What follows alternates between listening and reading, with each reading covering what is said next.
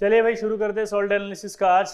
दूसरा लेक्चर और आज के लेक्चर में हम पढ़ने वाले हैं बहुत ही इंटरेस्टिंग थ्योरी और इस थ्योरी के अंदर हम क्या पढ़ेंगे, जरा देखना एक बार।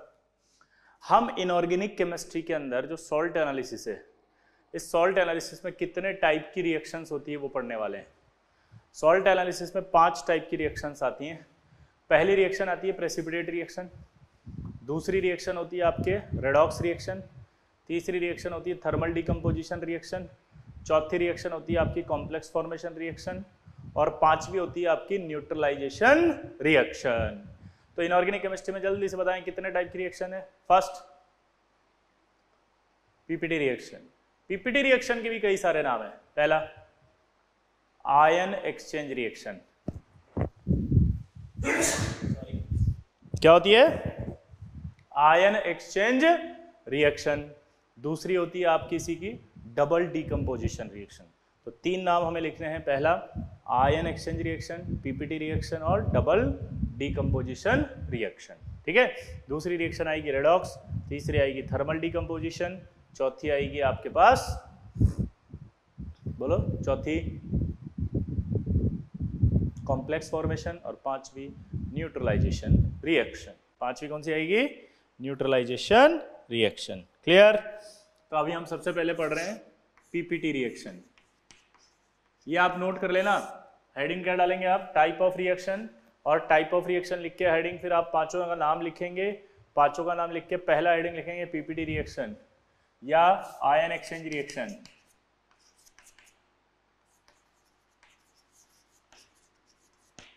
या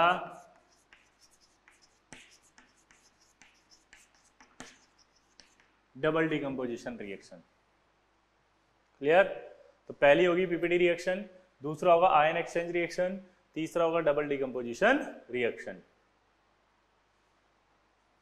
क्लियर सबको? आप इधर ध्यान दो। पीपीटी रिएक्शन क्या बोला जल्दी बताओ? पीपीटी रिएक्शन क्या होती है? मान लो एक सॉल्ट लिया मैंने ए दूसरा सॉल्ट लिया मैंने बी तीसरा लिया मैंने, जो प्रोडक्ट बनेगा वो सी और डी ये ए बी सी और डी एक सॉल्ट है। जल्दी बोलो। क्या बोला? जल्दी बताओ। ए बी सी और डी ये क्या है? सॉल्ट ठीक है? अब यहाँ पर ये कहा जा रहा है कि ए है सॉल्युबल बी है सॉल्युबल ये राइट का मतलब क्या निकालेंगे अब सॉल्युबल ये अंडरस्टूड हो गया आपको अब। अब देगा नहीं कभी भी वो। और अगर क्रॉस लिख दिया मैंने कहीं पे तो उसका मतलब है इनसॉल्युबल अगर मैंने राइट लिखा तो इसका मतलब क्या है? सॉल्युबल और अगर कहीं क्रॉस लिखा है तो इसका मतलब क्या है? इनसॉल्युबल दोबारा बोलो। राइट लिखा है तो क्या है? सॉल्युबल और क्रॉस लिखा है तो इनसॉल्युबल अब मेरी तरफ़ देखो। जब हम मिलते, सोचते हैं ना पीपीटी रिएक्शन तो हमारे दिमाग में सिर्फ़ एक ख्याल आता है पीपीटी रिएक्शन यानी पीपीटी बनता होगा। नहीं। ये हमें नहीं सोचना। मैं फील दिला रहा हूँ कि कैसे सोचना है पीपीटी रिएक्शन का मतलब। पीपीटी रिएक्शन का मतलब होता है जैसे दो आपने कलरलेस सॉल्यूशन को मिला दिया। और जैसे ही मिलाया तो अचानक से एक पीपीटी बन गया। जैसे पानी जैसे सॉल्यूशन थे, उनको मिलाया और दही बन गया कर्ड कर्ड फॉर्मेशन हो गया अचानक से तो इसका मतलब पीपीटी रिएक्शन है। आपने मान लीजिए कर्ड लिया हुआ था और उसमें एक सॉल्यूशन डाल दिया कोई, और कर्ड गायब हो गया तो इसका मतलब पीपीटी रिएक्शन है। मान लो आपके कर्ड रखा था या व्हाइट कलर का कोई कंपाउंड रखा था और आपने उसमें कुछ डाल दिया और वो अचानक से येलो कलर का हो गया तो वो पीपीटी रिएक्शन कहलाएगी। पीपीटी से related reaction that is called PPT reaction clear तो इसके केसेस होते हैं ये। समझ के बात को? केस केस वन ऐसा हुआ, जिसमें आपने एक सोल्यूबल सॉल्ट लिया, एक और सोल्यूबल सॉल्ट लिया।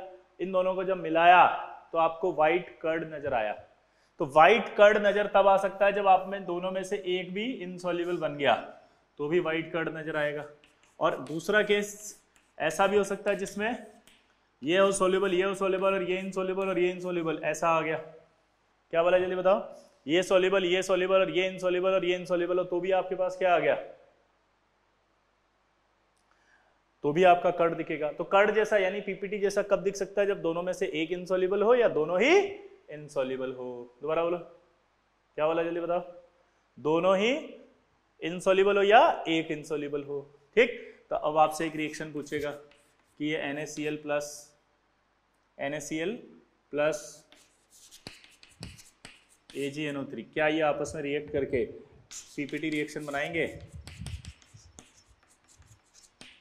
तो मैंने देखा ऐसी रिएक्शन होगी अब ऐसी रिएक्शन होगी और इसको पीपीटी रिएक्शन कहें या ना कहें, ये जो रिएक्शन हो रही है, इस रिएक्शन को पीपीटी रिएक्शन हम कहें या ना कहें, इसके लिए मुझे पता होना चाहिए कि ये सॉल्युबल है या नहीं है।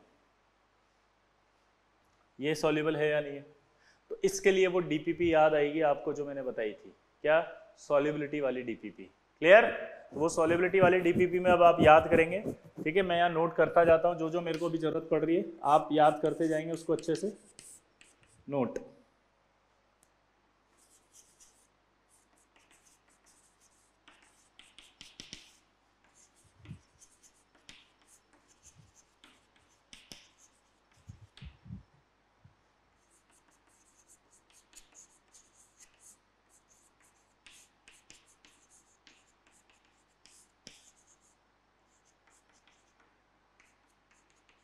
देखो, जितने भी क्लोराइड ब्रोमाइड और आयोडाइड सॉल्ट्स आपको पता हो, वो सब सॉल्युबल हैं, सिवाय इनके। यानी AgCl क्या होगा? इनसॉल्युबल AgBr क्या होगा? इनसॉल्युबल AgI क्या होगा? इनसॉल्युबल PbCl2 क्या होगा? इनसॉल्युबल PbBr2 क्या होगा? इनसॉल्युबल PbI2 क्या होगा? इनसॉल्युबल Hg2Cl2 क्या होगा? इनसॉल्युबल Hg2Br2 क्या होगा? इनसॉल्युबल Hg2I2 क्या होगा? Insoluble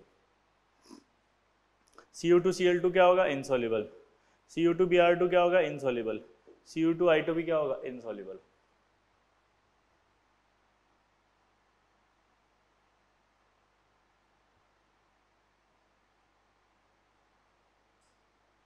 क्लियर तो chloride bromide iodide salts are soluble इन चार को छोड़ के, ये चार आपको याद करने पड़ेंगे अच्छे से। तो इन चारों को छोड़ करके आगे सारे सोल्यूबल है तो ये देखो, ये क्या होगा?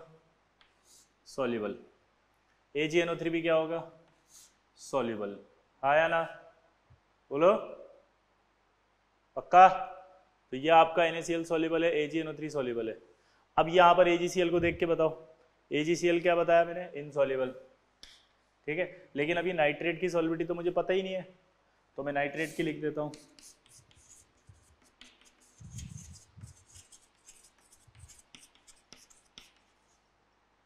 नाइट्रेट की सॉलिबिलिटी में होता है ऑल आर सोल्यूबल सब सोल्यूबल है इसमें, कोई लफड़ा ही नहीं है। ये भी सोल्यूबल और ये भी सोल्यूबल तो आप देखो फ़र्स्ट केस हुआ कि नहीं हुआ? कि ये सोल्यूबल सॉल्ट था, ये भी सोल्यूबल सॉल्ट था, इन दोनों सोल्यूबल सॉल्ट्स को मिला दिया आपस में। इन दोनों सोल्यूबल सॉल्ट्स को मिला दिया आपस में, और अगर इनको मिला दिया तो ये बन गया आपका ये और ये। ये इनसॉल्यूबल बना तो पीपीटी दिखेगा, नहीं दिखेगा। कर्ड जैसा दिखाई देगा, नहीं देगा। हाँ तो कर्ड जैसा अगर दिखाई देगा तो इसका मतलब पीपीटी रिएक्शन है। तो अब इस तरह की रिएक्शन को आइडेंटिफाई करने के लिए आपको इनकी सॉलिबिलिटी पता चलनी चाहिए ना? ऐसे आपको सॉलिबिलिटी याद करनी नोट करो इसको।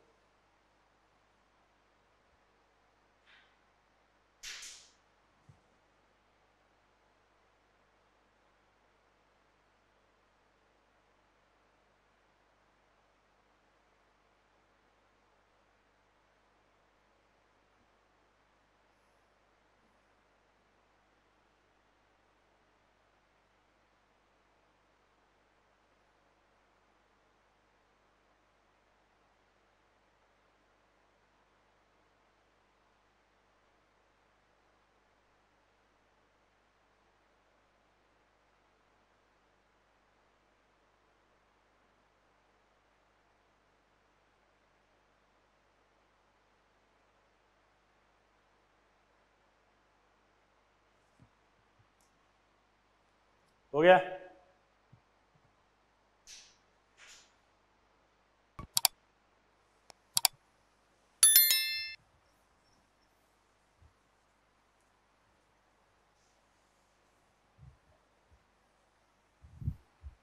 दूसरा देखो।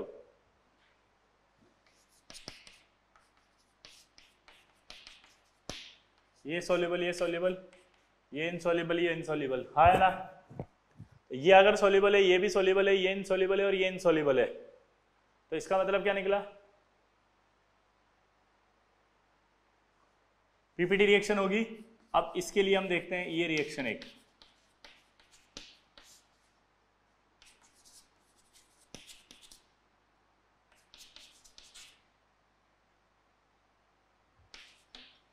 अब यहाँ पर मुझे दो की सोलिबिटी याद होगी, तभी मैं बता पाऊँगा। पहली आपकी सल्फेट की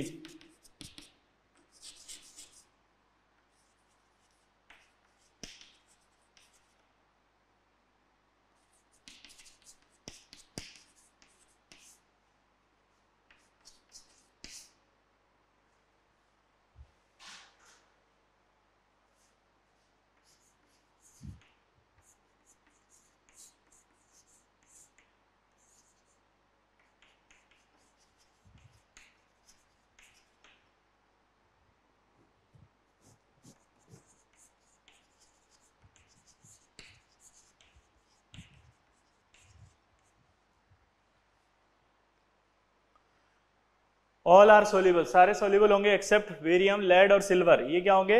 इनसॉल्युबल दोबारा बोलो। दोबारा बोलो। ये ये ये क्या होंगे? इनसॉल्युबल और ये स्पेरेंगली सोल्यूबल स्पेरेंगली सोल्यूबल का मतलब था पार्शल सोल्यूबल पार्शल सोल्यूबल मतलब आपका थोड़ा थोड़ा सोल्यूबल होगा थोड़ा थोड़ा नहीं होगा। ठीक है? तो पार्शल सोल्यूबल यानी पीपीटी पार्शल सोल्यूबल भी बना सकता है। अब आई बात किसकी? सल्फाइड की। All are insoluble except first A, second A और ammonium sulphide all are insoluble ये सारे के सारे इनसॉल्युबल होंगे सल्फाइड वाले। किसको छोड़ के? फ़र्स्ट ए फ़र्स्ट ए में कौन आएगा? Lithium sodium potassium rubidium caesium ये सारे के सारे सल्फाइड सॉल्युबल हैं। सेकेंड ए की बात करेंगे तो सेकेंड ए के अंदर कौन आएगा? बेरिलियम मैग्नीशियम कैल्शियम स्ट्रॉन्शियम और बेरियम कौन आएगा बताओ? Beryllium magnesium calcium strontium and barium तो ये आएगा और अमोनियम सल्फाइड ये सॉल्युबल होगा। अमोनियम सल्फाइड सॉल्युबल होगा। अमोनियम सल्फाइड सॉल्युबल क्लियर अब इधर देख के बताओ फटाफट। ये बी दिख रहा है। तो ये बी एस सॉल्युबल है कि इनसॉल्युबल है? देख के बताओ। तो ये बी एस आपका क्या आएगा? Soluble Z N S four देख के बताओ क्या आएगा वहाँ पे? All are insoluble B S तो सॉल्युबल आएगा, क्योंकि यहाँ फ़र्स्ट और सेकंड है। सेकंड है सॉल्युबल है। सल्फेट में सारे सॉल्युबल हैं। ये सॉल्युबल लेकिन बेरियम वाला क्या है? इनसॉल्युबल यहाँ सारे इनसॉल्युबल है। तो ये आपका पीपीटी रिएक्शन होगा। ठीक है? और इस, ये वाइट होता है पीपीटी ये भी वाइट होता है पीपीटी आप ये डाउट नहीं लाएँगे। सर ये वाइट होता है, हमें कैसे पता चलेगा? अभी धीरे धीरे पढ़ते जाएँगे, पता होता जाएगा। ठीक है? इन दोनों को मिला के कहा जाता है लिथोफोन और लिथोफोन क्या होता है? लिथोफोन एक वाइट पिगमेंट होता है।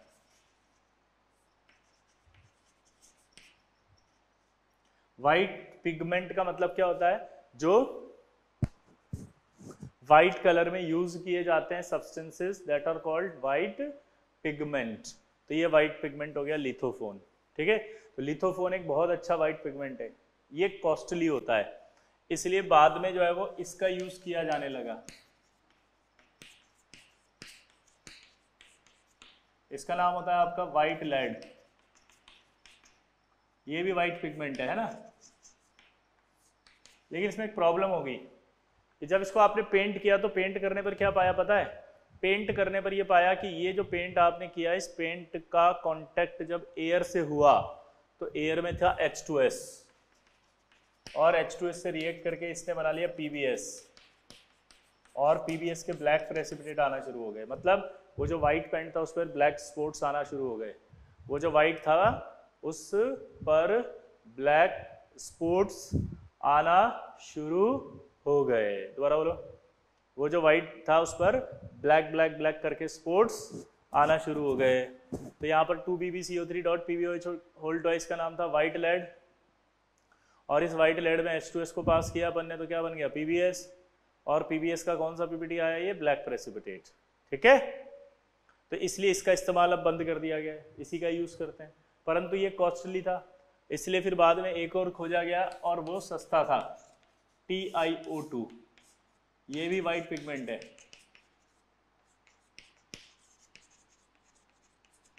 ये भी क्या है? वाइट पिगमेंट बाद में इस TiO2 को खोजा गया। ये क्या था? वाइट पिगमेंट TiO2 को खोजा गया। ये क्या था? व्हाइट पिगमेंट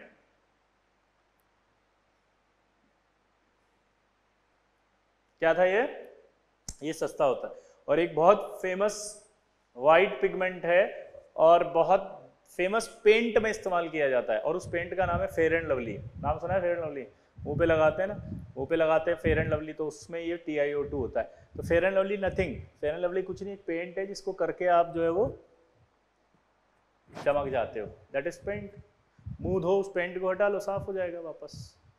दीवार पे पेंट करते हैं पेंट चमक जाती है, वैसी पेंट है वो, ठीक है? तो उसमें टी आई ओ टू होता है। क्लियर तो आई होप ये दो रिएक्शन आपको समझ में आई होंगी। नोट कर लो इसको फटाफट।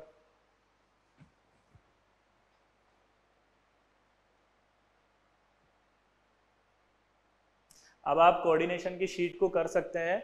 मैं कोऑर्डिनेशन की शीट के सॉल्यूशन भी अपलोड कर रहा हूँ, ठीक है? तो आप कोऑर्डिनेशन की शीट को अच्छे से सॉल्व कर लेंगे, ठीक है? सॉल्व करने के बाद आप क्या करेंगे? अपन डिस्कशन का एक स्लॉट बना लेंगे। डिस्कशन में हम क्या करेंगे पता है? हम बोलेंगे कि यार एक एक्सरसाइज में दस क्वेश्चन है, दस क्वेश्चन में कोई डाउट हो तो उसका स्क्रीनशॉट खींच के भेज देना। फिर अगले दस क्वेश्चन में हो तो उसका स्क्रीनशॉट फिर अगले दस में हो, उसका स्क्रीनशॉट फिर अगले दस में हो, उसका स्क्रीनशॉट क्लियर सबको? ऐसे करके आपको सारे डाउट्स भेजने हैं। क्लियर तो आप सबसे पहले एक्सरसाइज वन के स्क्रीनशॉट भेज देंगे। मैं आपके लिए क्या करूँगा, उसका सॉल्यूशन बनवा दूँगा। पहले तो आंसर की सॉल्यूशन अपलोड करा दूँगा। फिर अभी डाउट हो तो पहले आप सॉल्व करेंगे। फिर आंसर देखेंगे, फिर सॉल्यूशन देखेंगे। सॉल्यूशन देखने के बाद भी अगर आपको डाउट है, तब आप क्या करेंगे? मुझे उस क्वेश्चन का फ़ोटो खींच के भेजेंगे, मैं सॉल्यूशन बनवा के डलवा दूँगा। ठीक है? इस तरह से शीट डिस्कस होगी अब। नोट करो इसको।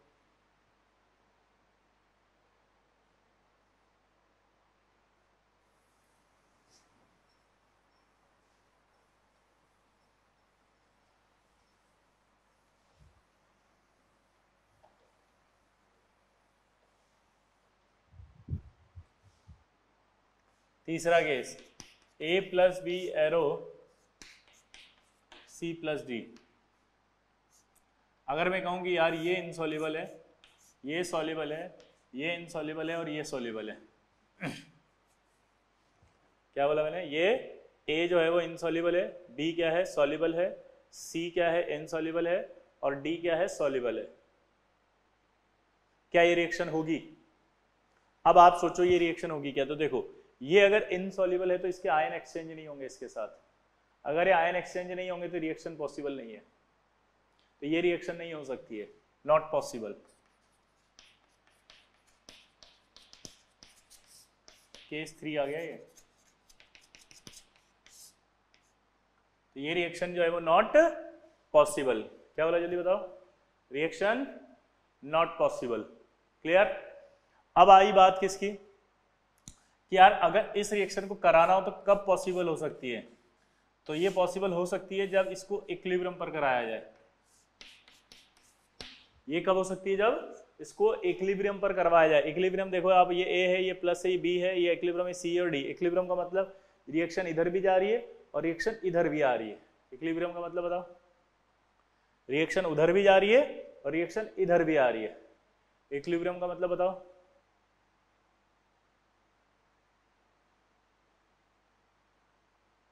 उधर भी जा रही, इधर भी आ रही। मतलब हमें ऐसे सॉल्ट लिए हैं जो शायद स्पेरेंगली सोल्यूबल है। यहाँ पर सॉल्ट ऐसे ले रहे हैं जो स्पेरेंगली सोल्यूबल है, हल्के हल्के सोल्यूबल है। तो हल्के हल्के अगर सोल्यूबल हुए तो उसके कुछ हिस्से इससे रिएक्ट करेंगे, कुछ इससे रिएक्ट करके हो सकता है। ये बना देंगे। प्रेसिपिटेट अब यहाँ पर आपको, अगर सर ने फ़िज़िकल केमिस्ट्री वाले सर ने के पढ़ा दिया, तब तो कोई डाउट नहीं आने वाला, समझ में आ जाएगा। लेकिन अगर के यानी कि सॉल्युबिलिटी प्रोडक्ट यहाँ पर नहीं पढ़ाया गया तो फिर दिक्कत आएगी। तो इस तरह की रिएक्शन जो होती है, वो डिपेंड करती है केस पी पर। तो के ऑफ़ ए अगर ज़्यादा है केएसपी ऑफ़ सी से तो रिएक्शन फॉरवर्ड जाएगी। कैसे? जरा देखना। ये आपका केएसपी है। के ऑफ़ ए केएसपी का मतलब होता है सोल्यूबिलिटी प्रोडक्ट सोल्यूबिलिटी प्रोडक्ट का एक मीनिंग होता है कि कोई भी सॉल्ट पानी में कितना सोल्यूबल है। अगर सपोज़ ये कह रहा है कि ए ज़्यादा सोल्यूबल है किससे? सी से। तो इसका मतलब ए थोड़ा ज़्यादा सोल्यूबल होगा तो ए का जो सोल्यूबल पार्ट होगा, वो बी से रिएक्ट करेगा बी से रिएक्ट करके वो सी बनाएगा। और जो सी है के एस पी ऑफ़ सी वो इनसॉल्यूबल है। के एस पी ऑफ़ सी क्या है? इनसॉल्यूबल यानी कि K S P of C कम है, यानी कि ये इनसॉल्यूबल होगा, यानी पीपीटी दिखाई देगा। तो रिएक्शन आगे भाग जाएगी ना। अगर यहाँ उल्टा होता कि इसकी जगह आपका के एस पी ऑफ़ सी अगर ज़्यादा होता और ये एक कम होता तो रिएक्शन इधर भाग जाती। जैसे इसका एग्जांपल है गोइजेज मेथड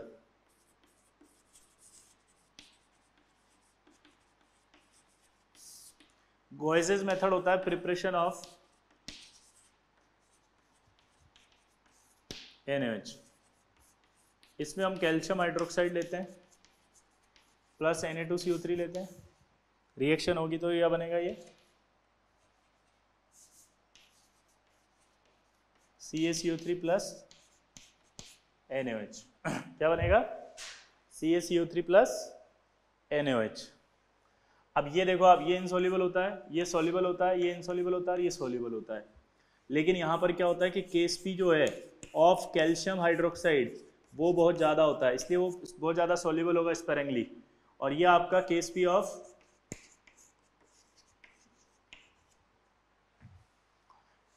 KSP of C कम होगा, इसलिए वो इनसॉल्युबल वो पीपीटी दिखाई देगा इनसॉल्युबल होगा। तो गोइजेस मेथड आपसे पूछेगा और आपसे बोलेगा गोइजेस मेथड किसकी प्रिपरेशन होती है? तो आप बोलोगे एनएच की। किसकी? एनएच बहुत सिंपल कॉन्सेप्ट है, कोई ज़्यादा कंफ्यूज मत हो। अगर सिंगल एरो है तो रिएक्शन पॉसिबल नहीं होती। अगर इक्विलिब्रियम है तो रिएक्शन पॉसिबल हो सकती है। कब? जब आप ये स्पेरिंगली सॉल्युबल लोगे। अगर ये स्पेरिंगली सॉल्युबल होगा तो क्या होगा? ये थोड़ा सा सोल्यूबल हो जाएगा। ये सोल्यूबल हो गया, इसके तो कुछ आयन आएँगे, वो आयन रिएक्ट करेंगे बी से। और बी से रिएक्ट करके वो कहा? सी बना देंगे। और जो सी होगा, और जो सी होगा, वो सी क्या करेगा? पीपीटी होगा। तो वो दिखेगा। ठीक है? तो रिएक्शन आगे भाग जाएगी। तो जिसका केस भी कम होगा रिएक्शन उधर भाग जाएगी। ठीक है?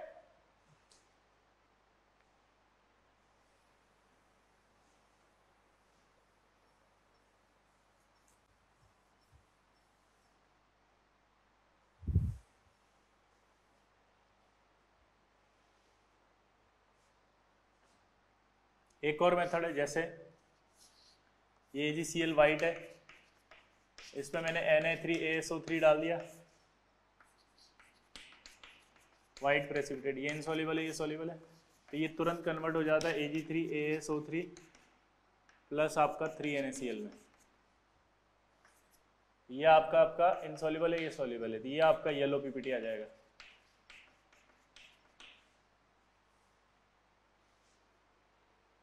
क्लियर तो ये रिएक्शन भी कब हुई जब?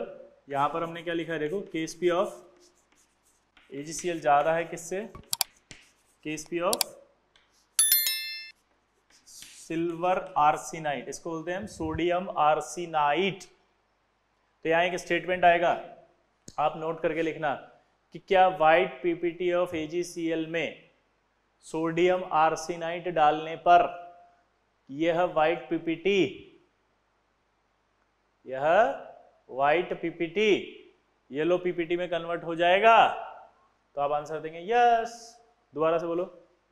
क्या व्हाइट पीपीटी ऑफ़ एजीसीएल में सोडियम आर्सेनाइट डालने पर यह व्हाइट पीपीटी यह व्हाइट पीपीटी येलो पीपीटी में कन्वर्ट हो जाएगा। तो आप बोलोगे यस ठीक है? तो ये आपकी एक और रिएक्शन कंप्लीट हुई।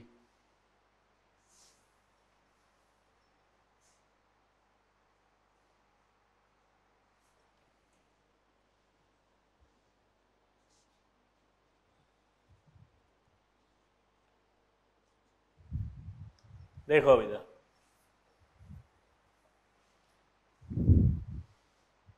ठीक है, तीसरा केस के बाद चौथा केस ए प्लस बी और सी प्लस डी आपसे बोल रहा है ये इनसॉल्युबल ये सोल्यूबल ये सोल्यूबल क्या ये केस हो सकता है? सोचो। आपसे बोलेगा, क्या यह केस हो सकता है?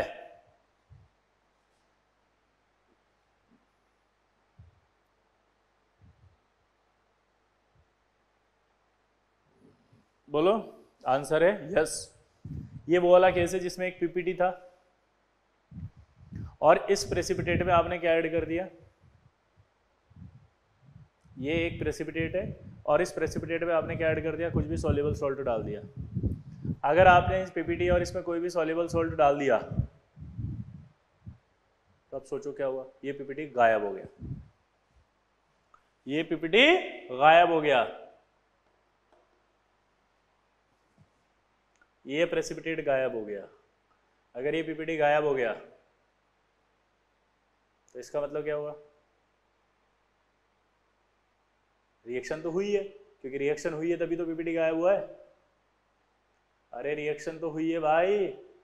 रिएक्शन हुई है तभी तो पीपीटी गायब हुआ है। रिएक्शन हुई है तभी तो पीपीटी गायब हुआ है। आया ना? तो देख सकते हो आप।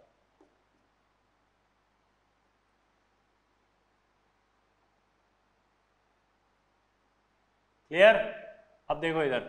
ये कैसे हुई, वो मैं आपको समझाता हूँ। B A C O three इसमें आपने क्या डाल दिया? एच एन ओ थ्री ये बी एस थ्री में एच एन ओ थ्री डाल दिया। तो इसका जो कॉन्सेप्ट है, वो पता है क्या है? क्योंकि आपको डाउट क्या आ रहा है कि यार ये इसके साथ कैसे रिएक्ट किया होगा?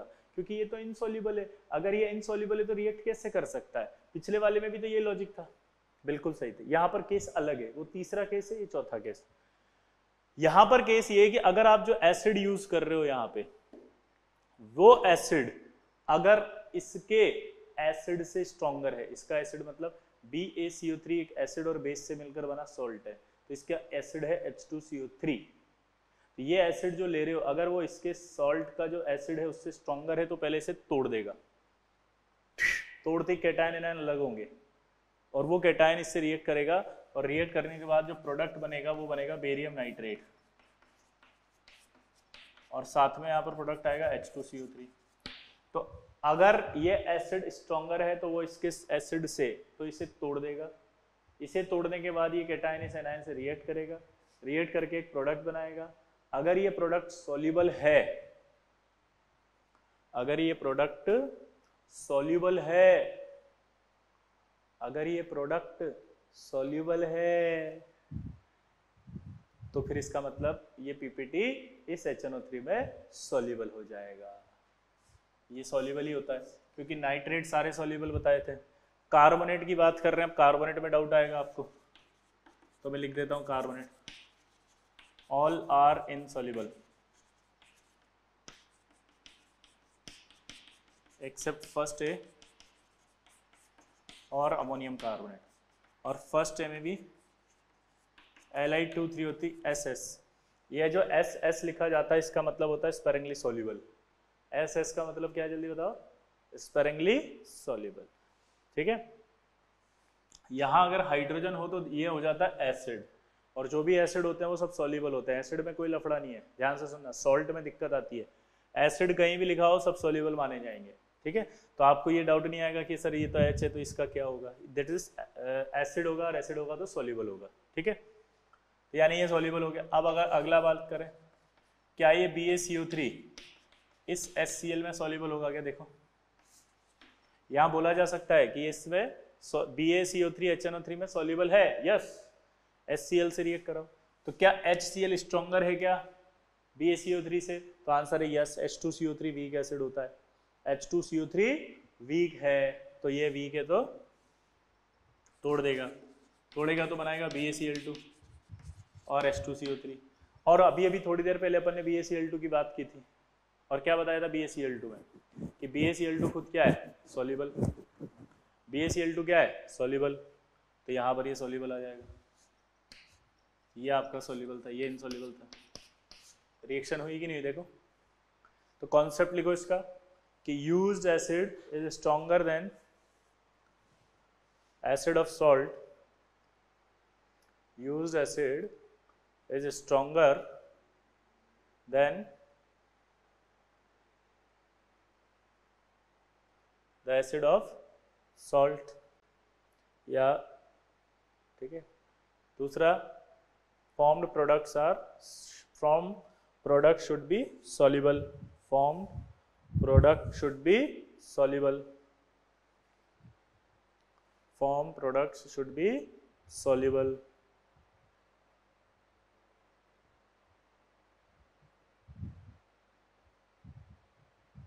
formed product should be बोलो soluble क्लियर तो एसिड जो होगा used acid is stronger than the acid of salt salt के एसिड से स्ट्रॉन्गर है और प्रोडक्ट शुड बी सॉल्युबल तो ये आपका पीपीटी इसमें सॉल्युबल होगा। एक और केस देखते हैं। लेकिन उस केस से पहले मैं आपको कुछ बता देता हूँ ताकि आपको दिक्कत नहीं आए। मैं आपको यहाँ पर कुछ एसिड्स के के ए लिख रहा हूँ। जैसे H2CO3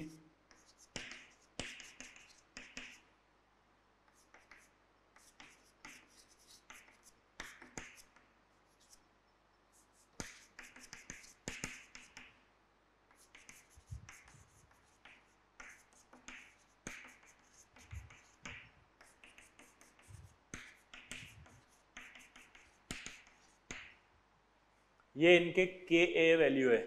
अब इस के वैल्यू को आप देख करके बताओ कि H2CO3 और यहाँ एसिटिक एसिड दोनों वीक एसिड होते हैं हमारे हिसाब से तो। लेकिन इन दोनों में कंपेयर करो बाप तो कंपेयर करने पर आपको पता चलेगा ये स्ट्रॉन्गर एसिड है इससे। माइनस फाइव आ रहा है यहाँ। अब आप सोच रहे होंगे कि सर आपने इनकी वैल्यू क्यों लिखी? यस आपको ये वैल्यूज़ याद रखनी है। इसके हिसाब से इनका कौन स्ट्रॉन्ग एसिड है वो याद रखना पड़ेगा आपको। ठीक है? सबसे ज़्यादा देखो आप एसिडिक एसिड आया है। सेकंड नंबर पे ये आया है थर्ड नंबर पे ये आया है फोर्थ नंबर पे बोरिक एसिड आया है। ठीक है? ये एग्ज़ाम में आता है सवाल डायरेक्ट इनका ऑर्डर पूछा जाता है और ये कई बार यूज़ होंगे, इसलिए आपको इनकी एसिडिक नेचर याद करनी है। वैल्यूज़ याद करो या मत करो नेचर से याद कर लेना। तो अब ये याद हो गया आपको कि एसिटिक एसिड स्ट्रॉन्गर एसिड है देन बोलो। H2CO3 तो अब आपसे फिर पूछा एक सवाल, क्या ये BaCO3 एसिडिक एसिड में सोल्यूबल है क्या? अब सबसे पहला सवाल है कि ये इसको तोड़ देगा? हाँ स्ट्रॉन्गर है ना? तोड़ देगा। तोड़ने के बाद बनाएगा यहाँ पर barium acetate plus H two C three लेकिन आप यहाँ अटक गए। पूछो क्यों? आपको ये नहीं मालूम कि बेरियम एसिटेट सोल्यूबल है या नहीं। आप यहाँ अटक गए। पूछो क्यों? क्योंकि आपको ये नहीं मालूम कि ये जो बेरियम एसिटेट है, ये सोल्यूबल है या नहीं। तो मुझे यहाँ एसिटेट की सॉल्युबिलिटी भी लिखनी पड़ेगी।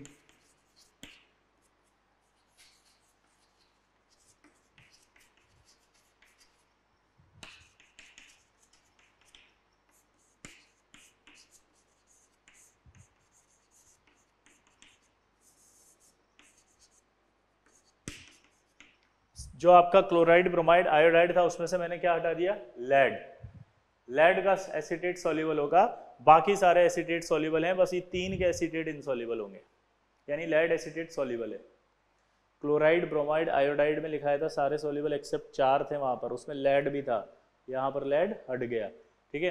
तो यहाँ देखेंगे आप तो बेरियम की बात हो रही है। बेरियम यहाँ पर देख के बताओ सॉल्युबल है कि नहीं है। तो आपको पता चला, ये तो इनसॉल्युबल था, ये सॉल्युबल था, ये सॉल्युबल होगा, ये भी सॉल्युबल होगा। तो आप बताओ, सारे सॉल्युबल हैं कि नहीं है? तो ये भी सॉल्युबल कर देगा इसको। लेकिन अगर यहाँ बोरिक एसिड आएगा तो बोरिक एसिड में सॉल्युबल नहीं होगा। एच सी एन आएगा सॉल्युबल नहीं होगा। क्लियर सबको? आया ना? बोलो? पक्का? तो इस तरह के जो सवाल आएँगे तो वो सवाल आप कर सकते हैं कि नहीं कर सकते? जल्दी बताओ। नोट करो इसको।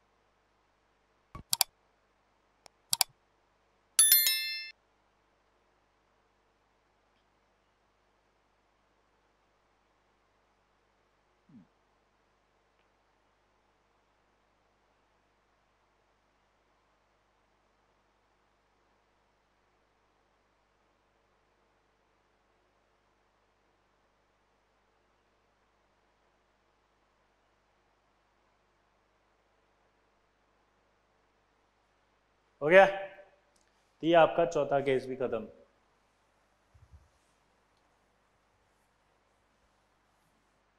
अगला देखो।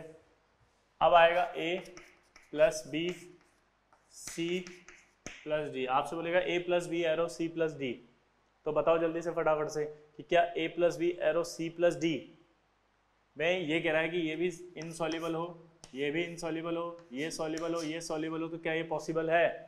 तो आंसर है नो क्योंकि ये अब इसके साथ एक्सचेंज नहीं कर सकता बिकॉज़ दोनों ही इनसॉल्युबल है।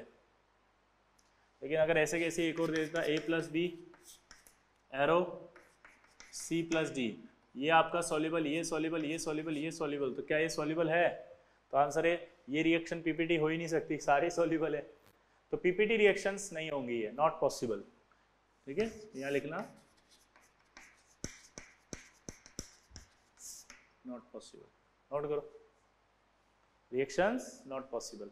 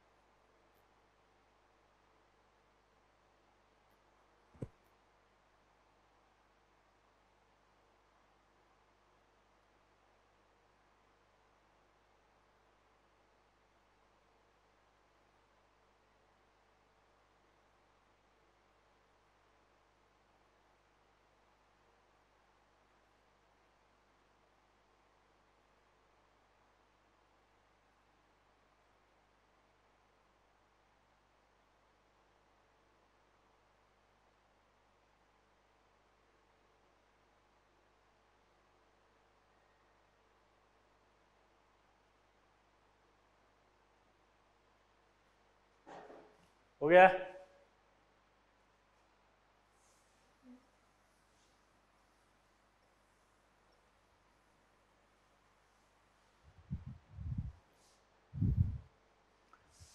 ये आपका एक टाइप का रिएक्शन समाप्त हुआ, जिसका नाम था पीपीटी रिएक्शन या आयन एक्सचेंज रिएक्शन या डबल डिकम्पोजिशन रिएक्शन तीनों बोल सकते हो आप। क्या बोल सकते हो? जल्दी बताओ। PPT reaction ion exchange reaction या डबल डिकम्पोजिशन रिएक्शन ठीक है?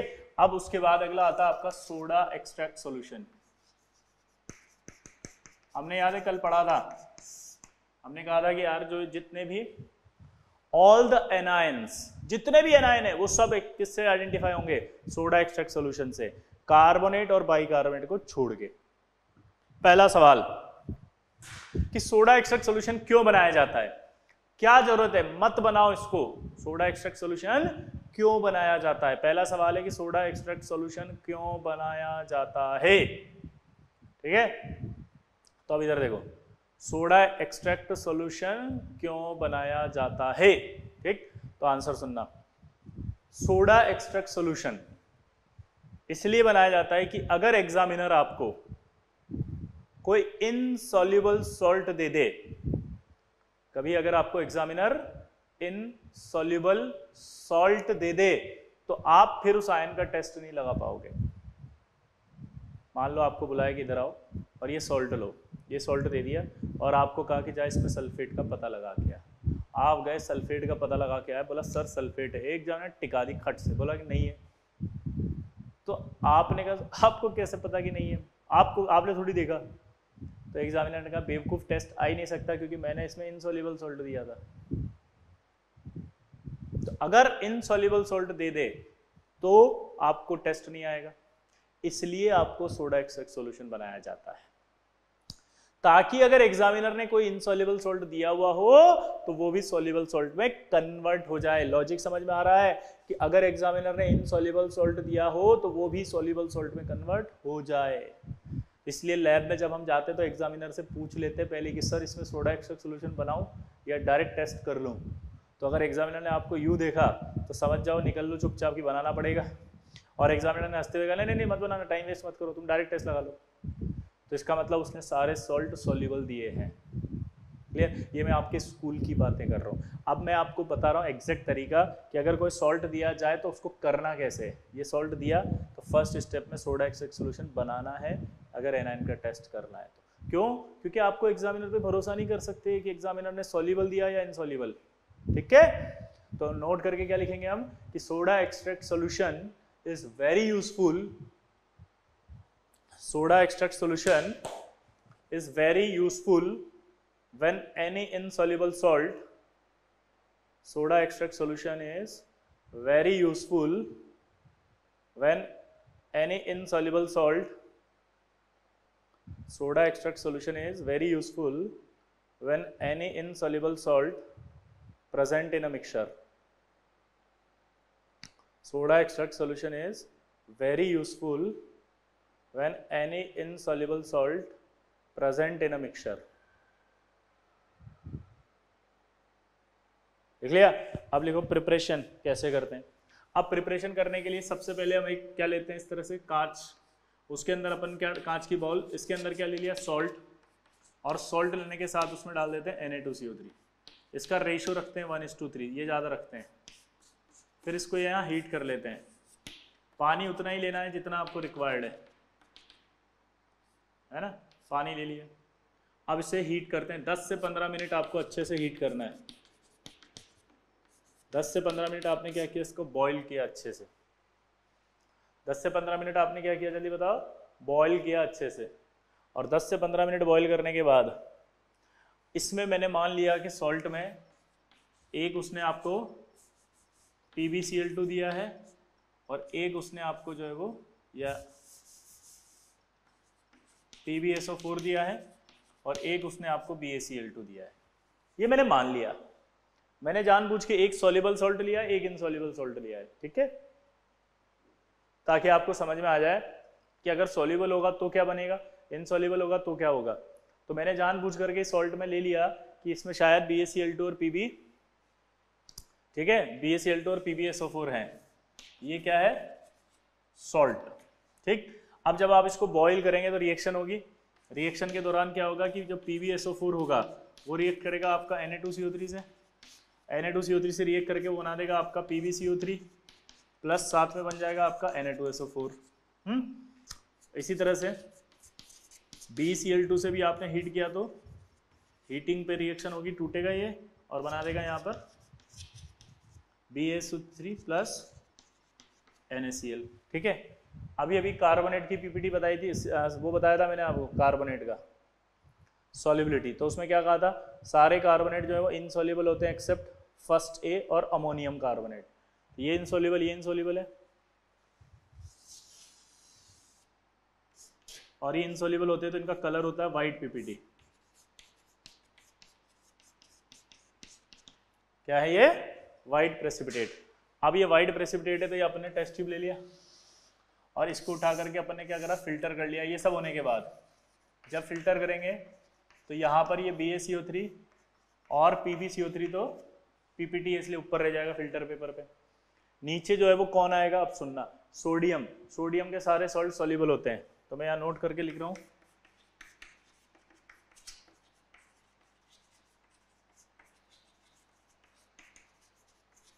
Sodium salts are soluble except sodium bicarbonate. ये स्परिंगली सॉल्युबल होता है। तो ये सोडियम के सॉल्ट हैं सारे सॉल्युबल होंगे? बेटा, ये याद करने पड़ेंगे, देखो यार, ये लर्न करने पड़ेंगे दैट इज़ कॉन्सेप्ट अब ये क्यों होते हैं, क्या होते हैं, ये तो हम पढ़ते हुए आ रहे हैं बॉन्डिंग से। क्योंकि याद करो, इसमें एच बॉन्डिंग हो जाती थी मैसिव एच बॉन्डिंग जिसकी वजह से ये स्पेरिंगली सॉल्युबल हुआ था। तो ये सब नहीं पूछ सकते आप प्लीज़ यहाँ पर ये टाइम नहीं, अगर ये बताने लगूँगा तो फिर ये रह जाएगा। तो आप ये ना सोचे कि सर समझ में ही नहीं आ रहा, क्या करें। ये तो कंटिन्यूटी का पार्ट है। तो आपने यहाँ क्या किया, इसको इसमें डाल दिया? जैसे डाला तो सोडियम आया ना? Na2SO4 आ गया। सोडियम सोल्यूबल सोडियम सोल्यूबल तो यहाँ जब आएँगे तो सोडियम तो Na प्लस सोल्यूबल हो गया। सल्फेट भी सोलिबल हो गया। Cl माइनस भी सोलिबल हो गया। तो देखो, आप तीनों केटायन इसमें फ्री हैं। इसको बोला जाता है soda extract solution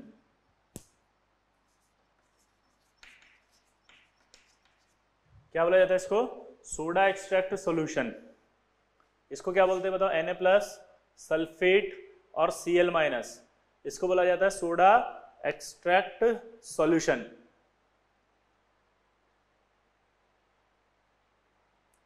soda extract solution clear अब देखो, जो सोल्यूबल था, वो भी आ गया सोल्यूबल फॉर्म में और जो इनसोल्यूबल था, वो आपका सोल्यूबल फॉर्म में आ गया. तो अब आप इसका टेस्ट दे सकते हो. क्लियर सबको? आया ना? तो सोडा एक्सट्रैक्ट सोल्यूशन कैसे बनाया, जरा वापस से समझेंगे। मैं गया, लैब में जाते मुझे उसने एक सॉल्ट दे दिया। वो सॉल्ट से देने के बाद आपसे कहा कि टेस्ट लगाओ। अब यहाँ पर प्रॉब्लम है कि वो इनसॉल्युबल सॉल्ट भी दे सकता था। तो हो सकता है मेरा टेस्ट नहीं आता, इसलिए मैंने सबसे पहले उसे बॉयल में लिया। बॉल में लेकर के डाल दिया। डालने के बाद उसमें पानी डाल दिया, फिर N A two C three डाल दिया। N A two C three ज़्यादा डाला वन इस टू थ्री और फिर इसको अपन ने हीट किया। अब ये हीट कर रहे हैं अपन। Ratio one is two three ही लेना है। N A two C three ज़्यादा लेना है। क्योंकि कोई भी चीज़ ना बचे इसमें। ये अपने ज़्यादा क्यों लिया, सोचो? क्योंकि इसमें जो भी हो ना एनायन वो सब रिएक्ट कर लें एन से। आप देखो, यहाँ दो ही दिए थे। मान लो यहाँ पाँच दे देता, फिर क्या करते आप? फिर क्या करते? तो आपको ज़्यादा चाहिए होता है ना, इसलिए वन इस टू थ्री लिया जाता है। ठीक है? आया ना? सिंपल अब आपने क्या किया? हीट किया तो हीट करने पर रिएक्शंस हुई। सॉल्ट में हमने मान लिया कि ये है, कुछ भी हो सकता था। रिएक्शन जब हुई तो ये जो भी सॉल्ट में होगा वो इससे रिएक्ट करके अपने कॉरस्पॉन्डिंग कार्बोनेट में आएगा। सॉल्ट जो भी होगा वो रिएक्ट करके Na2CO3 से अपने कॉरस्पॉन्डिंग सॉल्ट में आएगा। कॉरस्पॉन्डिंग सॉल्ट में आने के बाद जो कार्बोनेट बनेगा वो तो इनसॉल्युबल होगा। इनसॉल्युबल होगा। इनसॉल्युबल होगा व्हाइट पीपीटी आप क्या करेंगे, इसको फ़िल्टर करेंगे? तो ये जो व्हाइट पीपीटी है तो बाहर रह जाएगा और जो सॉल्यूशन है वो अंदर आ जाएगा।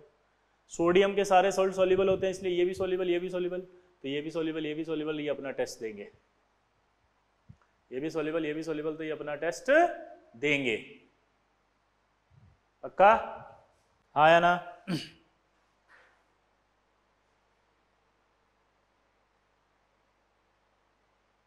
अब सोडा एक्सट्रैक्ट सॉल्यूशन से कार्बोनेट का टेस्ट क्यों नहीं कर सकते? देखो, ये कार्बोनेट है खूब सारा। वन एस टू थ्री तो जब आप इसे फ़िल्टर कर रहे होंगे ना तो इसमें कार्बोनेट भी है कुछ कुछ तो अगर आप इससे कार्बोनेट का टेस्ट लगाओगे तो हमेशा ही कार्बोनेट प्रेजेंट पाया जाएगा। तो सॉल्ट में कार्बोनेट है या नहीं है, ये पता नहीं चलेगा आपको। क्योंकि कार्बोनेट जो है, वो तो यहाँ से भी आ रहा है ये, अंदर। तो आप कभी भी सोडा एक्सट्रैक्ट सॉल्यूशन से कार्बोनेट का टेस्ट नहीं कर सकते। बाई कार्बोनेट का भी नहीं कर सकते, क्योंकि बाई कार्बोनेट वही सारे टेस्ट देता है जो कार्बोनेट देता है। तो कार्बोनेट देता है जो टेस्ट वही बाई कार्बोनेट देता है। तो कार्बोनेट के टेस्ट तो हमेशा ही आएँगे, क्योंकि कार्बोनेट तो अंदर है। आप समझ रहे हैं मेरी बात को? तो हमने क्या लिखा था पिछली क्लास में? कि जितने भी एनायन से सारे को टेस्ट किससे करते हैं? सोडा एक्सट्रैक्ट सोल्यूशन से करते हैं एक्सेप्ट कार्बनेट बाई कार्बनेट और वहाँ एक्सेप्ट लिखा था, इसका मतलब ये नहीं था कि एक्सेप्शन है। हमने कहा था ना एक्सप्लेन करेंगे इसको। अब आप खुद बताओ कि क्या आप इससे कार्बोनेट का टेस्ट लगाना प्रेफर करोगे? नहीं। क्योंकि अगर इससे लगाओगे तो टेस्ट हमेशा गलत आएगा। गलत मतलब हमेशा ही टेस्ट आएगा, कार्बोनेट है। चाहे एग्जामिनर ने सॉल्ट में कार्बोनेट दिया हो, चाहे नहीं दिया हो। अब कार्बोनेट का कैसे करते हैं? डायरेक्ट सॉल्ट जो होता है, उससे डायरेक्ट टेस्ट किया जाता है। और इसी वजह से कार्बोनेट का कभी इंसॉल्युबल सॉल्ट नहीं देगा वो आपको, क्योंकि आप उसका डायरेक्ट टेस्ट करोगे। तो कार्बोनेट के हमेशा सॉल्युबल सॉल्ट दिए जाते हैं टेस्ट करने के लिए। ठीक है? तो ये बात आ गई। अब इसमें एक खास बात कि इसमें कार्बोनेट हमेशा प्रेजेंट है तो आपको उस कार्बोनेट को हटाना पड़ेगा। आया ना? कार्बोनेट प्रेजेंट है कि नहीं है तो उस कार्बोनेट को हटाना पड़ता है। उसके लिए हम इसमें सबसे पहले नोट करके लिखो कि before performing the test of anion soda extract solution must be neutralised आपको इसे न्यूट्रलाइज्ड करना होता है। नोट करके लिखो। Before performing the test of anion before performing the test of anion before performing the test of anion soda extract solution soda extract solution must be neutralized before performing the test of anion soda extract solution must be neutralized ठीक है? By suitable acid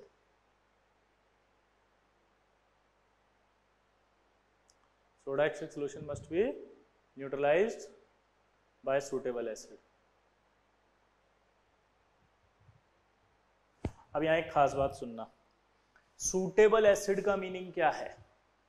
suitable acid का meaning क्या है? Meaning समझना। मान लो ये मेरे पास है टेस्ट ट्यूब और इस टेस्ट ट्यूब के अंदर अभी सीएल है सल्फेट है। मुझे एग्जामिनर ने कहा कि सल्फेट का टेस्ट लगाओ। ध्यान से सुनना, ये ये मैंने लिया हुआ है पूरा का पूरा ऐसे। ठीक है? अब मुझे कहा, अब इससे टेस्ट कैसे लगाते हैं, पहले वो समझो। ये बनने के बाद इसको रख देते हैं साइड में।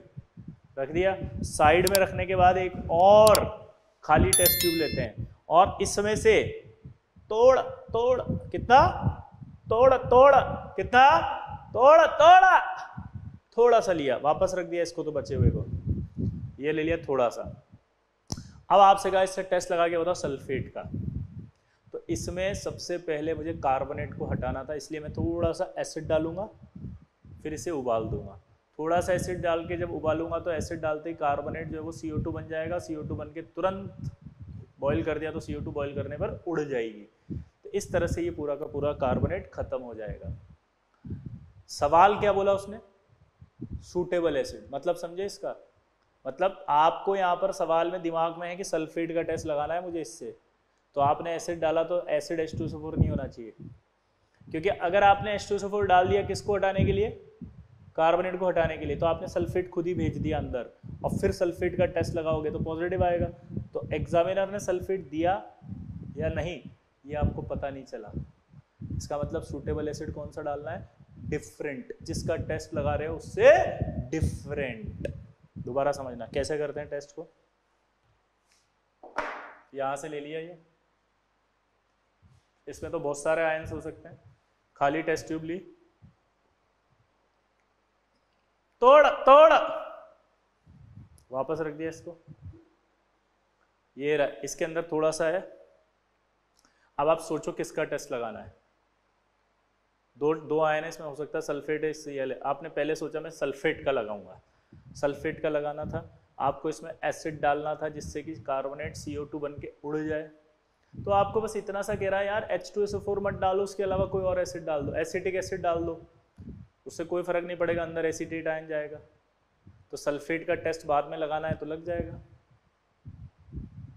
अगर मान लो अब वापस से करते हैं इसको। ये लिया। अब ये लिया। तोड़ तोड़, वापस रख दिया। ये लेने के बाद इसमें अब क्या है? वापस सल्फेट और सी है अब क्या दे रहा है? आपने सोचा, अब सी का टेस्ट लगाता हूँ। तो सी का टेस्ट लगाता हूँ। सी का टेस्ट लगाना है। तो अब एच डाल सकता हूँ क्या? यस लेकिन अब एच नहीं डाल सकता। आपको सोचना है किसका आप टेस्ट परफॉर्म कर रहे हो। अगर आप एच का टेस्ट लगाना सॉरी सल्फेट का टेस्ट लगाना चाह रहे थे तो एच नहीं डालना। अगर आप सीएल का लगाने चाह रहे हो तो एस सी एल मत डालना, बस इतना सा कह रहा है वो। ठीक है? तो नोट करके लिखो सूटेबल एसिड लिखो।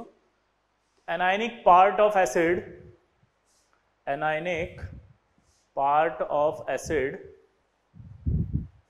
anionic part of acid must be differ anionic part of acid must be differ from the anion anionic part of acid must be differ from the anion must be differ from the anion that has to be detected. Anionic part of acid, anionic part of acid must be differ from the anion that has to be detected. Clear? एक और खास बात है। Note करके लिखना oxidising acid oxidising acid should not be use like concentrated H two four concentrated H N O three ये भी use नहीं करना। पूछो क्यों? क्योंकि अगर कोई concentrated H two S O four हुआ तो वो सल्फाइड जो होगा उसको सल्फ़र में ले जाएगा। सल्फाइट जो होगा उसे सल्फेट में ले जाएगा। समझना ध्यान से?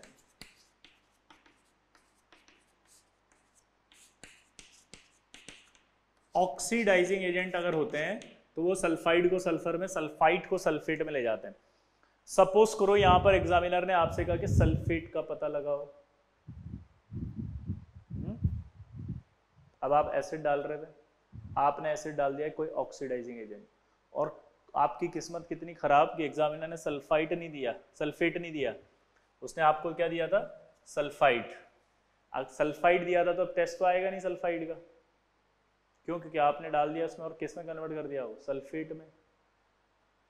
और आपने सल्फेट है, ये एग्जामिनर को बोल दिया। तो आपका टेस्ट गलत हो गया ना, क्योंकि एग्जामिनर ने सल्फेट नहीं दिया था, आपको सल्फाइट दिया था। तो आपको कभी भी एसिड डालते समय ऑक्सीडाइजिंग एसिड नहीं डालना। ऑक्सीडाइजिंग एसिड इसलिए नहीं डालना क्योंकि वो किसी भी आयन को ऑक्सीडाइज कर सकता है तो वो आयन चेंज हो जाएगा। ठीक है? इसलिए सोडा एक्सट्रैक्ट सॉल्यूशन में न्यूट्रलाइज करने के लिए जनरली एक non oxidising acid acetic acid का यूज़ किया जाता है बहुत ज़्यादा। तो न्यूट्रलाइज करने के लिए सबसे ज़्यादा किस एसिड का यूज़ करते हैं हम? एसिटिक एसिड लेकिन जब एसिटेट का टेस्ट लगा रहे हो, तब मत करना। समझ गए? बाकी सब में एसिडिक एसिड यूज़ करते हैं। तो नोट करके लिखना कि कंसंट्रेटेड यानी ऑक्सीडाइजिंग एसिड का इस्तेमाल नहीं करना। क्या लिखा ऑक्सीडाइजिंग एसिड का इस्तेमाल नहीं करना, वरना ये ऑक्सीडाइज कर देंगे इन आयंस को। ठीक है? तो ये आपका कंप्लीट हुआ सोडा एक्सेक सोल्यूशन